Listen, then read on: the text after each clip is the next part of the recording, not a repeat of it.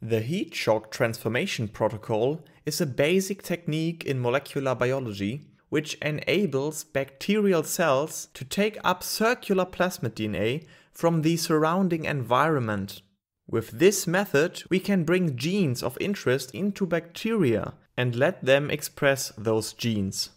Transformation is a process that also occurs in nature. It is defined as the uptake of free genetic material from the environment. Bacteria contain the chromosomal DNA and apart from that also autonomously replicating plasmid DNA.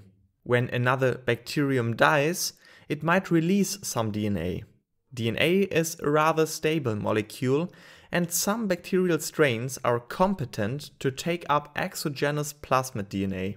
Genes from the foreign plasmid might be expressed and protein is produced. The two main protocols for transforming bacteria artificially with plasmid DNA are based on a short heat shock or on electroporation.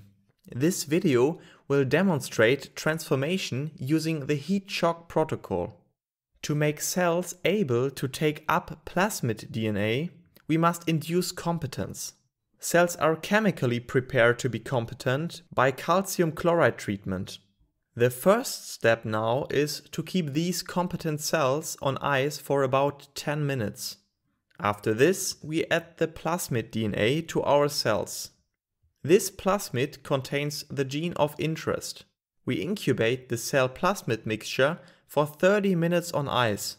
The purpose of the calcium chloride is to bring the DNA into close proximity with the lipopolysaccharides which are present in the bacterial outer membrane. The divalent calcium cations cover both negatively charged DNA and negatively charged lipopolysaccharides. The third step involves the exposure to a short heat shock.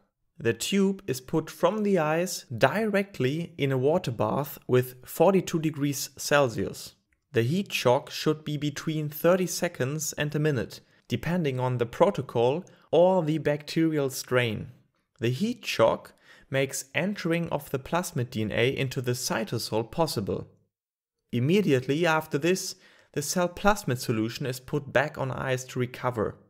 Growth medium is added to the cells and they are incubated with agitation at 37 degrees to regenerate the damaged cell membrane.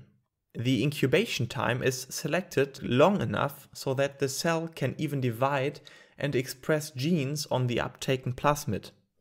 After that, the cells will be plated on selective medium. That means the medium contains antibiotics, preventing growth of bacteria which are not resistant. The plasmid used for transformation does not only contain our gene of interest, but also a sequence coding for antibiotic resistance. Only bacterial cells successfully transformed with these plasmids can thus grow on the plates. Thanks for watching, make sure to subscribe when you want to see more scientific videos. Also leave a like if this video was helpful for you. Bye!